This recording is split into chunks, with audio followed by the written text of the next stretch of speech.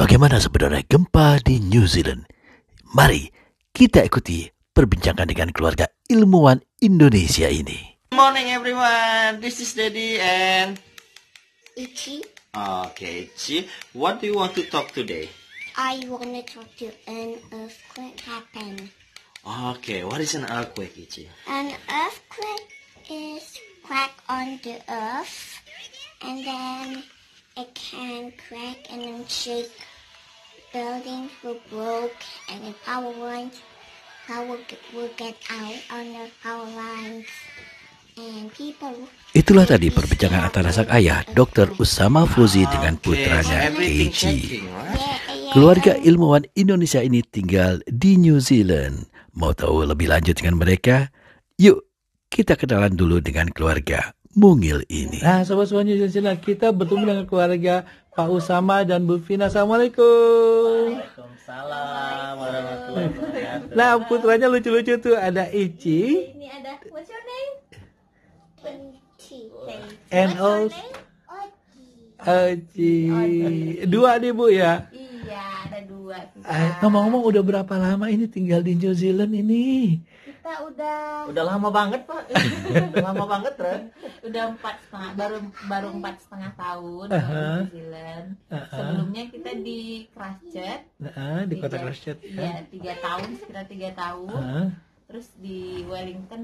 Pindah ke kota Wellington. setengah- Pindah ke kota Wellington satu setengah tahun. Ah, Nah, bagaimana menurut lulusan ITB dan Universitas Tokyo ini mengenai gempa di New Zealand? Oke, uh, kalau New Zealand ini negara yang ramah sama gempa ya, sama kayak Indonesia ya.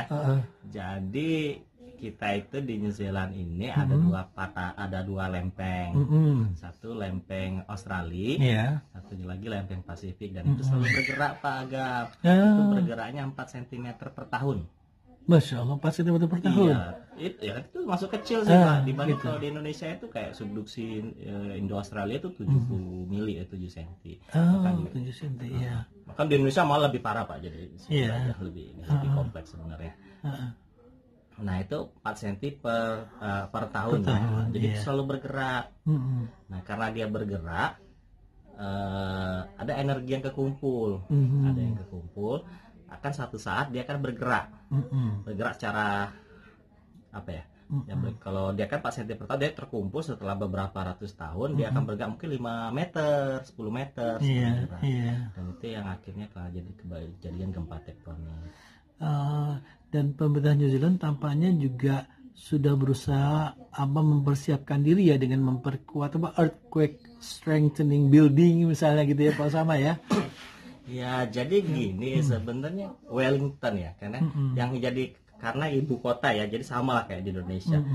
Di- karena Jakarta nggak terlalu rawan gempa, jadi perhatian agak kurang. Tapi di New Zealand agak beda, karena yang jadi kasus inti itu adalah Wellington. Wellington itu di bawahnya ada patahan Wellington. Ah, Oke. Itu dari apa ya? Cook Street ya di bawah itu? Cook Street ya Pak Agam ya namanya Cook ya? Street ya, iya, ma- betul. orang baru nih Pak Agam Willy ya. Saya orang baru nih jadi belum hafal ya. Itu kan ada patahan jalan terus ke atas. Kalau nggak salah ke arah Kelburn Iya. Kelburn Northland terus ke atas lagi Tondon. Nah itu ada rumah rumahnya Jasindra. Betul Perdana Menteri ya. Nah, nah eh, itu rumah negara rumahnya ya. itu cuma 20 meter dari patahan Wellington. Oh. itu terus lanjut ke atas ke tol ini SH2 Oh, highway SH2 motorway Nah, nomor motorway 2 itu. ya. terus lanjut ke atas ke Petone Mm-mm. terus di Meling itu banyak rumah itu persis di bawah patahan Oh, Oke. terus ke atas ke Manor Park terus ada ada cabang di arah Kawafold Aha. terus sampai ke arah Palmi Oh itu daerah-daerah yang sangat berbahaya bila Itu, terjadi gempa ah, tektonik ah. ya di atas patahan itu Ya, ya. nah kalau di Wellington itu nggak hanya Wellington Fold Mm-mm. ada lagi namanya Wairarapa Fold Oke. itu alhamdulillah udah kejadian gempanya 150 tahun yang lalu Oh, di gitu. tahun 1855 Oh, ada gempa 8,2 Iya. jadi dia mungkin dalam waktu dekat nggak gerak lagi Ah, Nah. Tapi kita harus berhati-hati dengan Wellington Fault Iya, ini ya. betul nah Wellington Fault ini eh, periode ulangnya itu sekitar 500 sampai 1000 tahun sekali pasti gerak Ah, dan itu terakhir gerak 500 tahun yang lalu Pak Agam oh gitu. jadi makanya kenapa pemerintah New Zealand sekarang lagi gencar-gencarnya di Wellington Ah, karena udah dekat Oh. Nah, jadi gini saya ada tambahan ya kalau buat warga Indonesia di New Zealand ya pengalaman di Christchurch ya. Ah, Jadi kan seperti saya bilang, eh, saya katakan tadi waktu ngobrol Pak, Ah. rumah di New Zealand ini 99% itu diasuransikan. iya. Iya. Sedangkan di Jepang itu 15% cuma di US mungkin 25%, Indonesia mungkin 0, Iya. Nah, bedanya kalau di Indonesia atau di Jepang gitu, gempa udah gitu, rumah jadi tanah hantu. Ah, ah. Tanah hantu kan. Ah, betul. Nah, eh, jadi kayak kota hantu, tidak ada Betul. orang karena Iya. orang akan pindah kan diabaikan daerah Iya. itu. Kalau di New Zealand kan enggak. Iya. Karena semua rumah diasuransikan.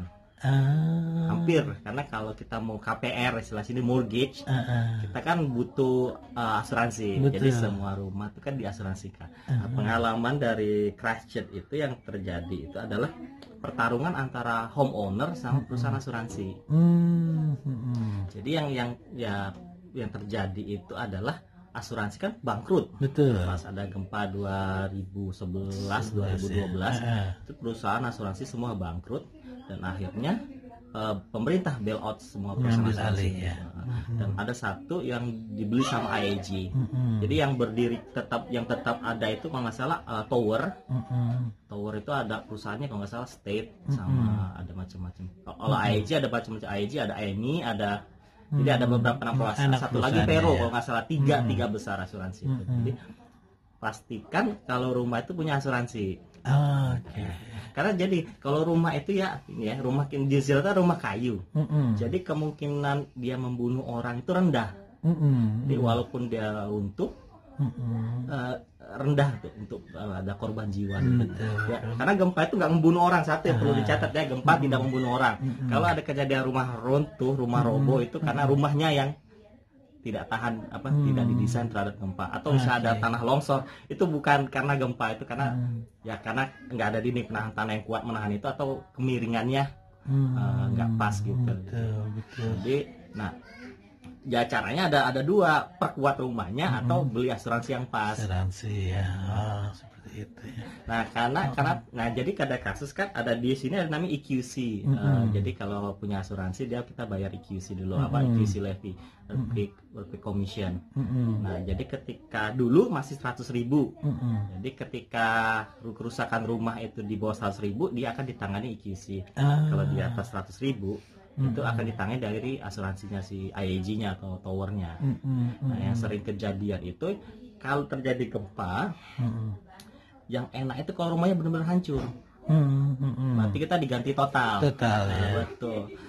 Jadi karena kalau misalnya di antara 100.000 ribu itu itu yang biasanya agak repot. In between. In between. Iya. ya in between. Jadi kalau misalnya dia di bawah 100.000 ribu, nanti IKC buat report, bilang ini bisa di repair, diperbaiki.